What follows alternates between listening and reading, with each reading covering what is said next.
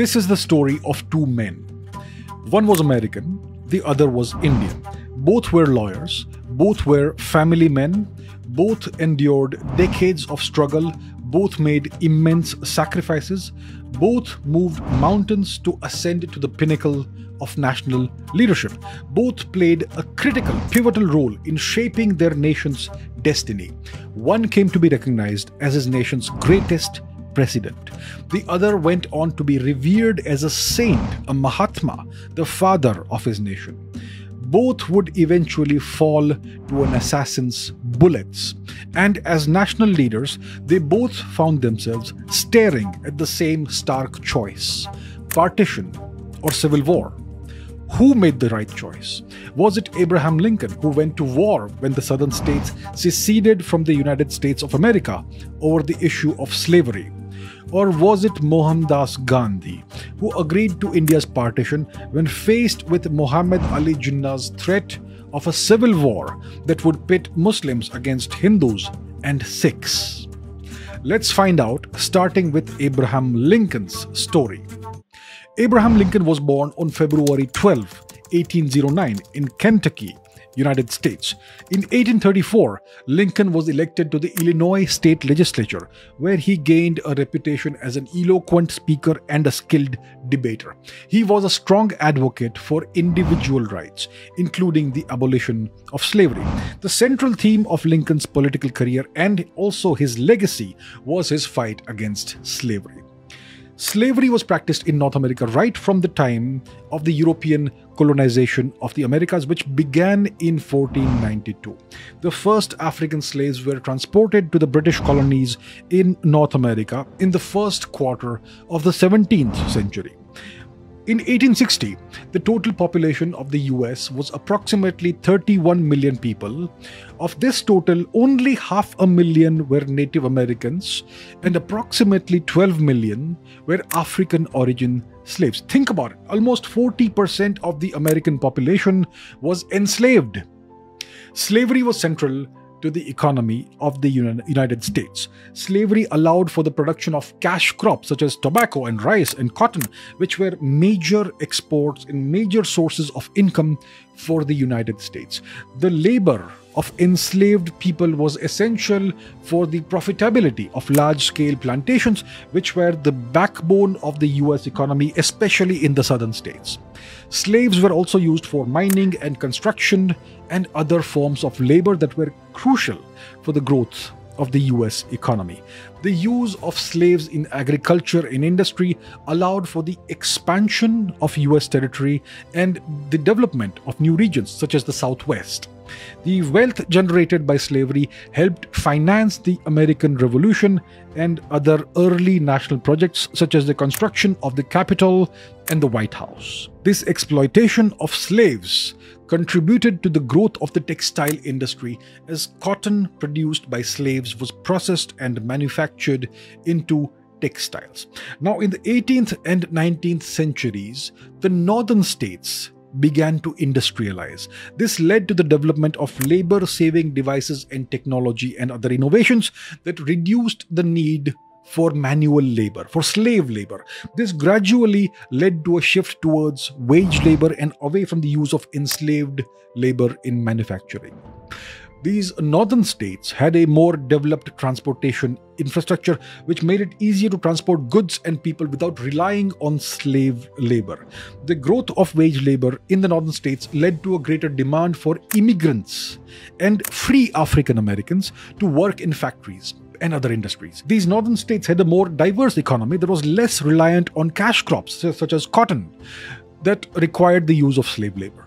Because of these economic and technological factors, the northern states gradually began to abolish slavery during the late 18th and early 19th centuries. These northern states had a larger population than the southern states, which meant that they had more political power and could push for the abolition of slavery throughout the United States to the detriment of the less developed southern states, and Abraham Lincoln's election as president in 1890 sparked a crisis in the South. South Carolina became the first state to secede from the Union. By January 1861, Mississippi and Florida and Alabama, Georgia, Louisiana, and Texas had also seceded from the Union. By February that year, the Confederate States of America was formed with Jefferson Davis as its president. Soon, other states like Virginia, Arkansas, North Carolina, and Tennessee also seceded from the Union and joined the Confederacy. So, Abraham Lincoln, the newly minted President of the United States, was left with two options either accept the partition of the United States or go to war against the Confederacy. He chose war. The American Civil War began in April 1861. It was a brutal conflict, the most deadly conflict in US history until that point in time. Approximately 2% of the US population died in combat, and hundreds of thousands more died of disease. To make a long story short, the Civil War ended on April 9, 1865, with the surrender of the Confederate forces. Abraham Lincoln had succeeded in protecting the unity and territorial integrity of the United States. Six days later, on April 14, 1865, Lincoln was assassinated by a Confederate sympathizer named John Wilkes Booth. Lincoln's legacy continues to be celebrated and studied today. His life and leadership continue to inspire Americans. He is widely regarded as one of America's greatest presidents, and his influence on American society and history and culture is immense. Now let's talk about Mohandas Gandhi. Mohandas Gandhi was born on October 2, 1869 in Porbandar, a coastal town in Gujarat, India. He was born into wealth and power. His father, Karamchand Gandhi, was a chief minister of Porbandar and later became the Diwan or prime minister of the princely state of Rajkot. Mr. Gandhi's life and political career must be examined in the context of the British occupation of India. The British East India Company was founded in 1600 near the end of the Elizabethan era, and its purpose was to trade with India. At that time, India was incredibly prosperous. In fact, India was the world's uh, largest economy for the best part of the past two millennia. The East India Company hoped to dip into some of this incredible wealth and enrich its stakeholders, its shareholders, and the English crown in the process it succeeded beyond the wildest dreams of its shareholders. By the first quarter of the 19th century, the East India Company had defeated the immense Maratha Empire and seized control of large parts of India.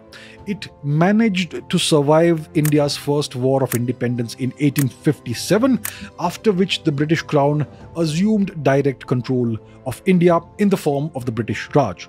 The British rule over India was brutal the British killed roughly 10 million Indians in reprisals in the aftermath of 1857 itself, and they engineered countless artificial famines year after year after year, which killed well over a hundred million Indians, and this ended with the Bengal famine of 1943.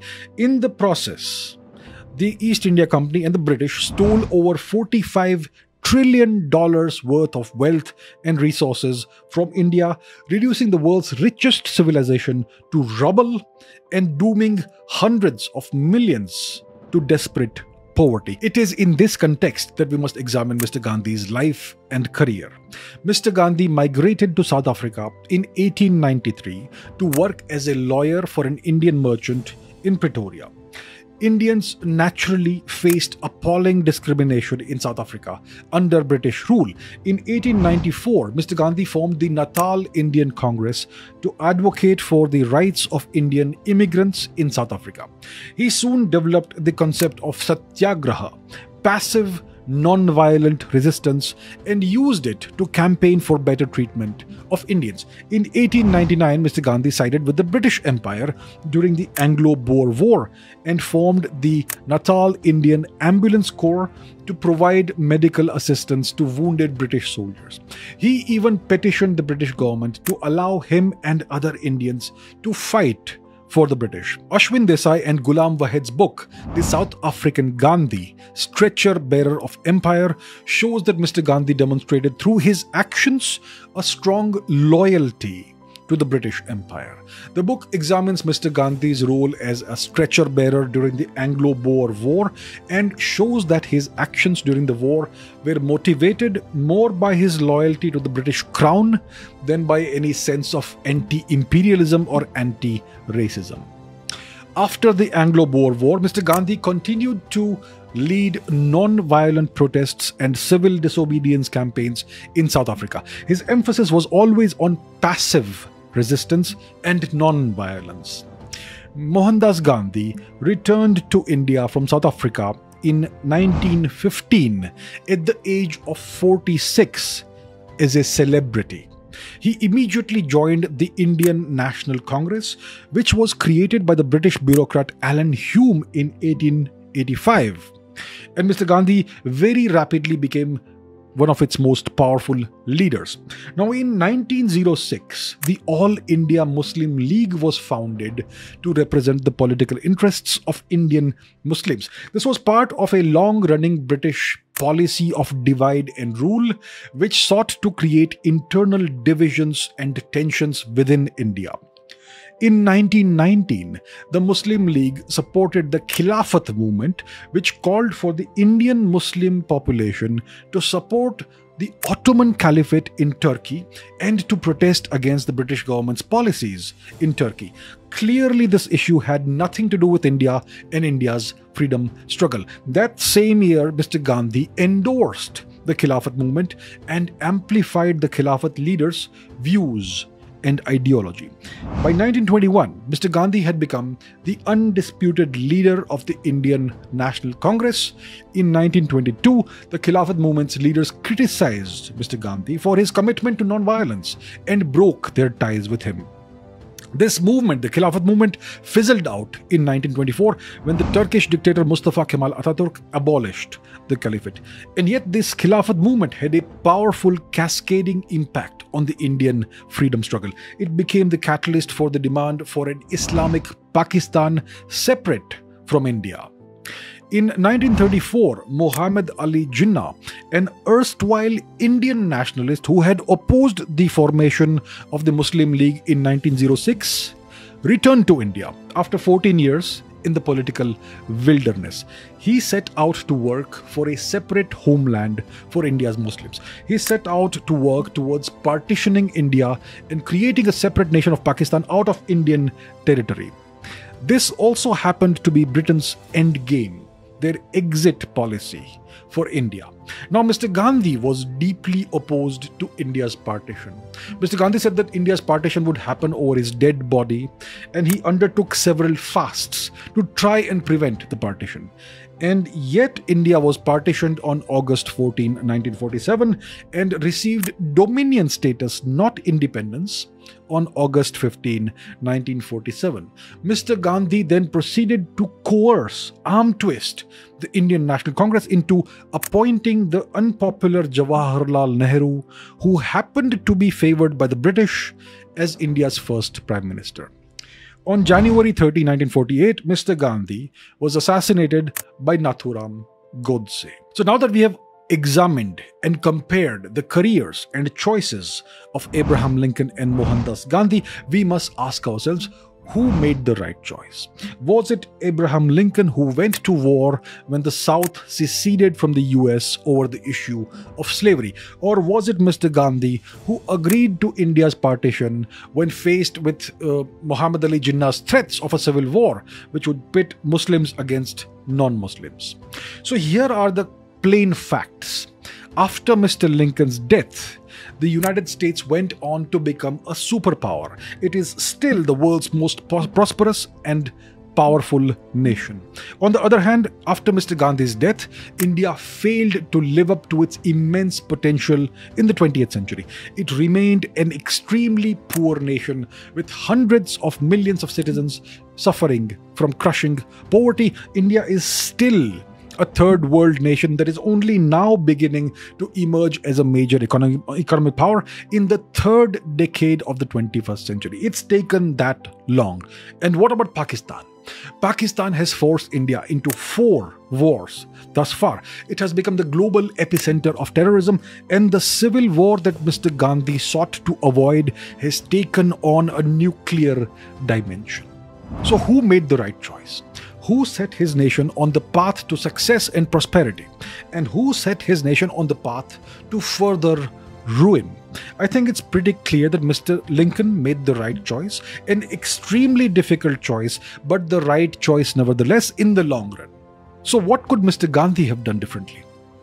One way of answering this question is to ask ourselves what would Abraham Lincoln have done if he were in Mr. Gandhi's position? Or what would the great statesman Vishnugupta Chanakya have done? Let's not forget that Chanakya defeated and dismantled the oppressive and immensely powerful Nanda Empire, which even Alexander could not conquer, and established the Mauryan Empire in its place. How would Chanakya have dealt with the British occupation and the prospect of India's partition.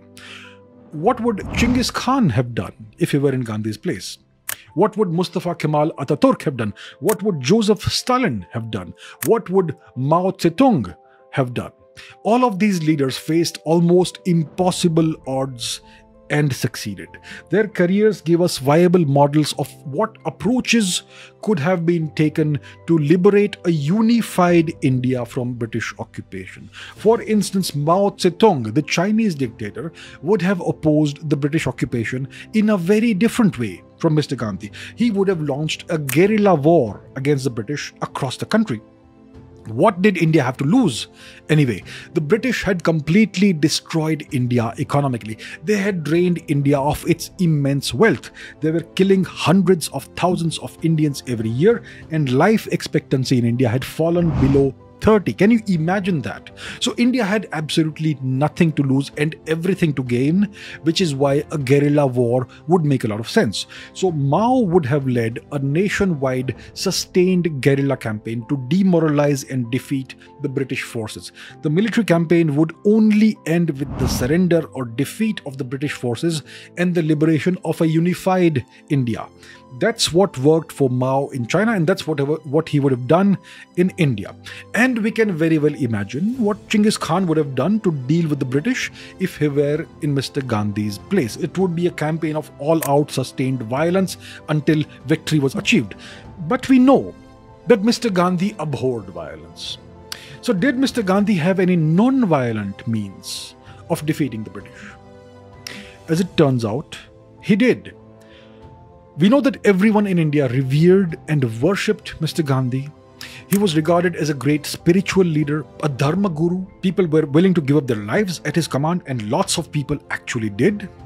So, here is the critical question Why did Mr. Gandhi never ask the British Indian Army to launch a satyagraha, a non violent, non cooperation movement against the British?